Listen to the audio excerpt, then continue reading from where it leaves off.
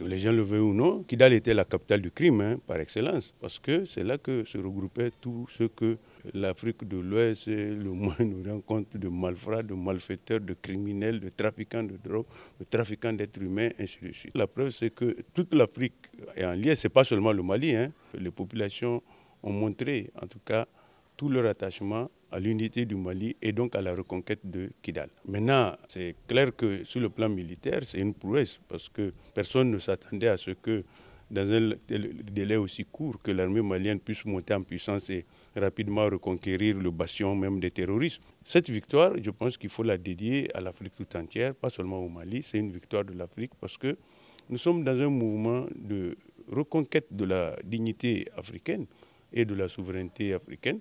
Nous sommes dans un mouvement euh, de reprise des idéaux des pères des indépendants, surtout du président Nkrumah et du président Modibo Keïta. Nous sommes dans un mouvement où il faut redonner à l'Afrique son éclat et je pense que la prise de Kidal fait partie de ces éléments qui peuvent permettre en tout cas de recouvrer la souveraineté et la dignité africaine. C'est clair qu'il euh, y a eu beaucoup d'exactions de la part de ceux qui ont fui. Il faut pacifier la région, parce que vous savez que depuis pratiquement dix ans, ces zones-là n'étaient plus connectées au Mali et donc vivaient sous le joug des terroristes.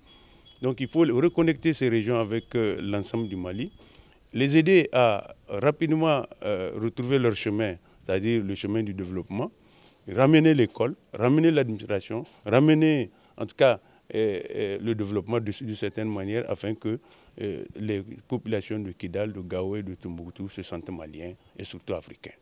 La victoire militaire, c'est parfait. Elle reste à, parfaire davantage si éventuellement on peut rapidement mettre un plan Marshall de développement des régions du Nord. N'eût été l'arrivée de Tchani, moi, je suis persuadé que, chassés de Kidal, les chefs terroristes allaient se retrouver ici au Niger. Rappelez-vous, tant qu'ils étaient en mauvaise posture, on leur demandait de se replier soit sur le Niger, sur la Mauritanie ou l'Algérie. Parce que le régime déchu était de connivence avec eux. Aujourd'hui, cela n'est plus possible. Vous avez vu, on a même découvert des tunnels de plusieurs kilomètres qu'ils ont creusés dans l'espoir donc d'échapper au bombardement des forces aériennes maliennes. C'est une victoire en tout cas pour euh, les trois armées.